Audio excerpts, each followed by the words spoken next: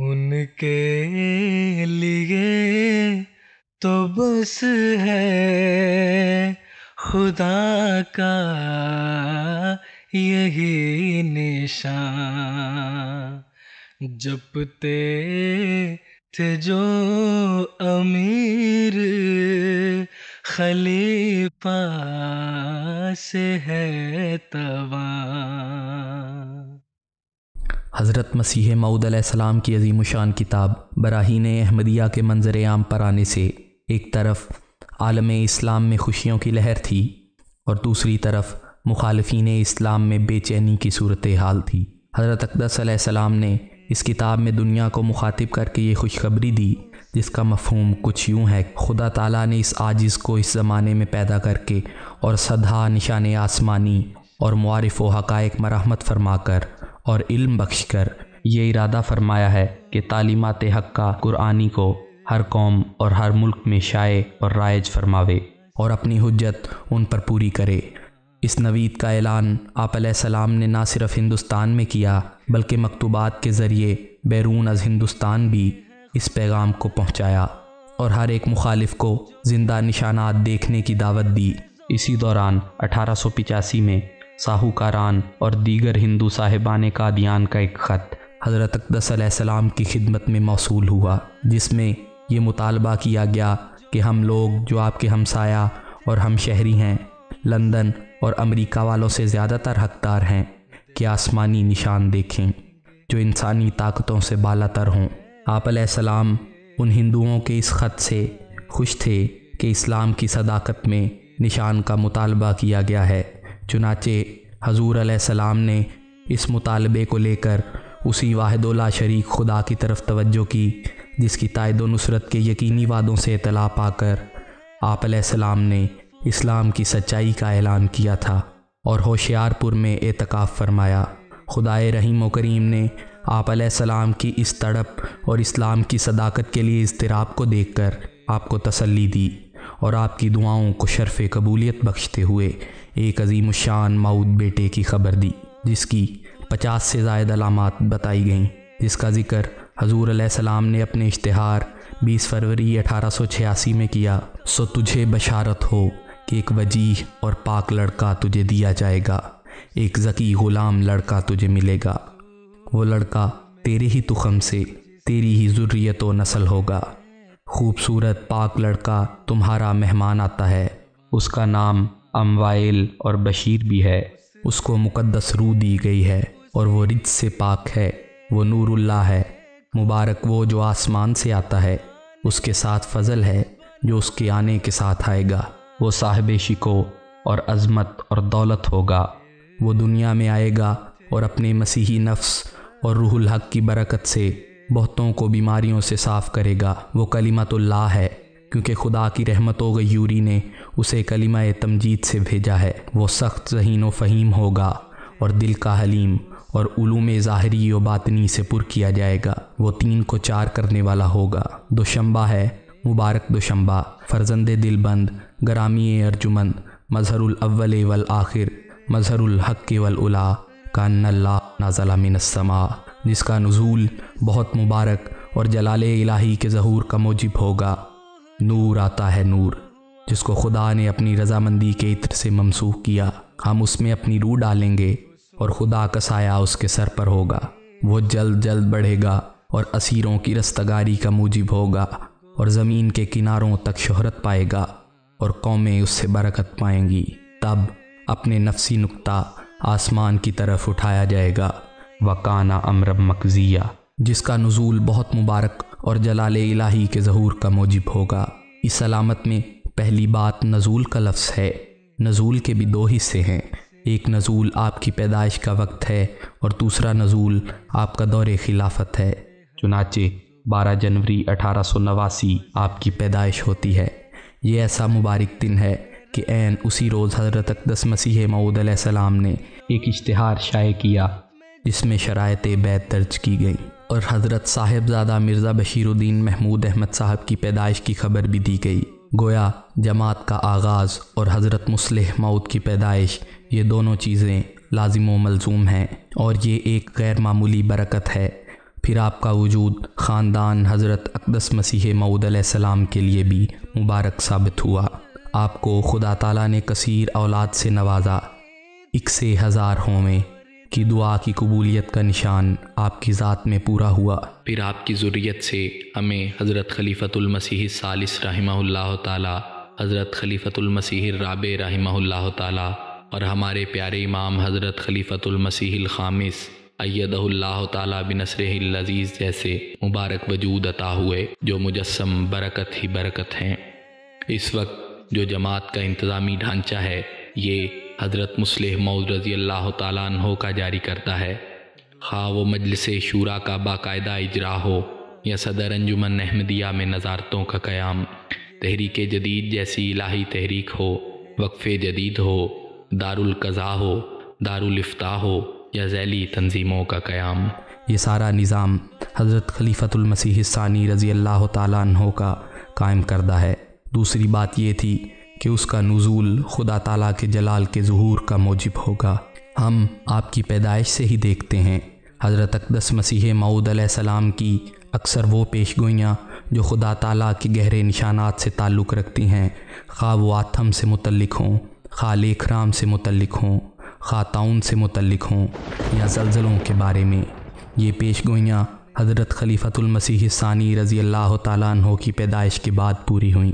हज़रत खलीफ़तुलमसीह सानी रज़ी अल्लाह तहों का मुबारक दौर खिलाफत शुरू होता है। दो आलमगीर जंगें इसी दौर में हुई। ऐसी अजीम शान ये जंग थी कि आज भी सोच कर सख्त से सख्त दिल इंसान का भी पिता पानी हो जाता है। ऐसे इबरतनाक नज़ारे हैं, शहरों के शहर और बस्तियों की बस्तियाँ मलिया मेट हो गईं, पुरानी ताकतें ख़त्म हो गईं। नए ब्लॉक बन गए और खुदा ताला का जलाल पूरी शान व शौकत के साथ दुनिया पर ज़ाहिर हुआ। फिर तकसीम हिंद का वाक़ है। तकसीम हिंद के वक्त जो हालात थे वो किसी से पोशीदा नहीं। इन नामसाद हालात में खुदा ताला के फ़ज़ल और हज़रत मुसलह मऊद रज़ी अल्लाह तहो की वलवला अंगेज़ क़्यादत के नतीजे में जमात खुदा ताला के फ़ज़ल से महफूज रही। और ना सिर्फ़ महफूज रही बल्कि रबवा की शक्ल में नया मरकज़ भी जमात को अता हुआ। खुदा का साया उसके सर पर होगा। जब वो बच्चा पैदा हुआ तो इब्तदा ही से उसकी सेहत कमज़ोर थी। बावजूद इसके कि कई बीमारियों ने हमला किए रखा, वो बच्चा आगे बढ़ता रहा, उसकी उम्र में इजाफ़ा होता रहा।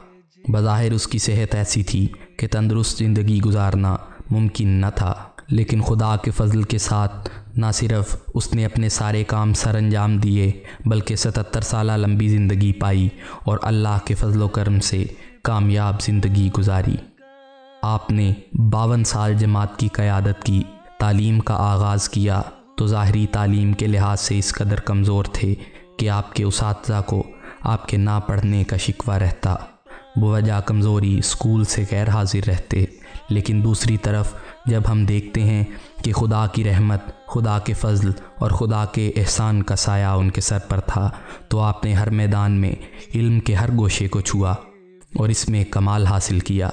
सिर्फ़ यही नहीं कि आपने ये ऐलान किया कि खुदा ताला ने मुझे कुरान करीम सिखाया है, बल्कि कुरान के साथ साथ हदीस का भी आपने इल्म हासिल किया। और दीनी उलूम के अलावा दुनियावी उलूम में भी दस्तरस हासिल की। आपने 130 से जायद कुतुब तसनीफ़ फरमाई, जो मजहबी अनावीन के अलावा सियासियात, माशियात पर भी हैं। आपने माली उमूर, इंतज़ामी और सियासियात पर लेक्चर भी दिए, गोया खुदा के फजल की वजह से, खुदा का साया इस बच्चे के सर पर होने की वजह से। आपने अमली और इल्मी ज़िंदगी में शानदार कारहाय नुमाया सर अंजाम दिए। हज़रत मसीह मऊदम की मुबशर औलाद होने की वजह से आपको मुखालफत का सामना भी था।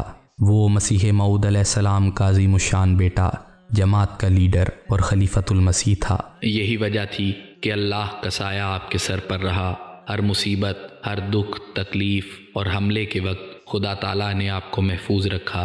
एक वक्त ऐसा भी आया कि जब हज़रत मुसलह मऊद अल्लाह तहों पर एक दुश्मन ने चाकू से हमला कर दिया और आप रज़ी अल्लाह तहो शदीद ज़ख्मी हो गए। लेकिन खुदा ताला ने ना सिर्फ़ आपको महफूज रखा बल्कि इसके बाद भी आपने 11 साल जमात की क़्यादत फरमाई। एक दफ़ा मजमे में तकरीर फरमा रहे थे कि आपका गला खुश्क हो गया। हाजरीन में से एक बंदे ने बालाई की प्याली निकाली और कहा देखिए हजूर का गला खुश्क हो रहा है हजूर को ज़ोफ़ हो रहा है। ये बालाई फ़ौर स्टेज पर पहुंचाकर हजूर की खिदमत में पेश की जाए। बालाई हजूर की खिदमत में पेश करने से पहले चख ली गई। जब वो बालाई चखी तो उस शख्स की ज़ुबान कट गई। उस बालाई में जहर मिला हुआ था। ये खुदा का साया था, खुदा का फजल था, खुदा की ताइद थी। उसने हजूर को महफूज रखा और वो बालाई हजूर ने चखी भी नहीं। हज़रत मुस्लिम मऊदम को जमात के बाहर से ही नहीं, जमात के अंदर से भी मुखालफत का सामना था। यानी वो लोग जो मसीह मऊदम को तो मानते थे, लेकिन उन्होंने खिलाफत का इनकार कर दिया। हज़रत मुसलह मऊद की बैत का इनकार कर दिया। उन्होंने हमेशा हुजूर पर इल्ज़ाम लगाने का सिलसिला जारी रखा। लेकिन खुदा का फ़ज़ल चूँकि उसके सर पर था, आपकी इज़्ज़त में, आपके असर रसूख में इजाफ़ा होता चला गया और आपने एक शानदार कामयाब, बाइज़्ज़त ज़िंदगी गुजारी। वो तीन को चार करने वाला होगा। हज़रत मसीह मऊद सलाम ने इस पेश गोई में तहरीर फरमाया, इसके मानी समझ में नहीं आए, क्योंकि अल्लाह ताला ने बाज़ उमूर इसमें मख्फ़ी रखे हुए थे और बाज़ उमूर इसलिए मख्फ़ी रखे जाते हैं ताकि अपने वक्त पर खुल सकें। और बाज़ दफ़ा इसमें आजमाइश भी होती है। तो हजूर ने फरमाया, इसके मानी समझ में नहीं आए। इसकी तफसीर और तशरी करते हुए हज़रत मुस्लिम मऊद रज़ी अल्लाह ने फरमाया, ये तीन को चार करने वाला जुमला मेरी ज़ात में कई रंग से पूरा होता है। एक तो ये पेश गोई अठारह सौ छियासी में की गई, छियासी एक साल, सतासी अगला साल अट्ठासी तीसरा साल, जो नवासी है, वो चौथा साल बना।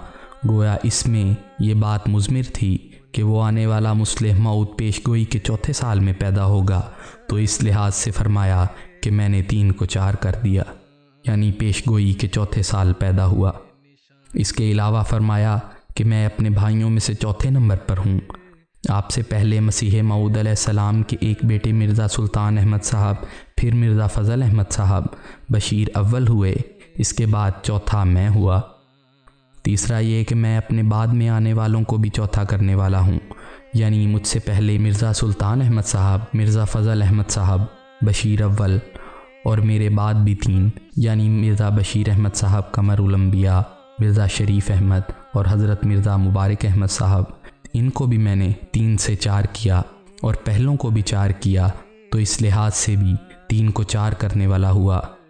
फिर फरमाया कि हज़रत मसीह मऊद सलाम की औलाद में से जो ज़िंदा थी, उसमें तीन ईमान रखने वाले थे। एक हज़रत मुस्लिम मऊद रज़ी अल्लाह दूसरा मेरे बाद हज़रत मिर्ज़ा बशीर अहमद साहब, तीसरा मिर्ज़ा फ़ज़ल अहमद साहब और चौथे आपके भाई मिर्ज़ा सुल्तान अहमद साहब। ये हज़रत मसीह मऊद सलाम पर ईमान नहीं लाए थे।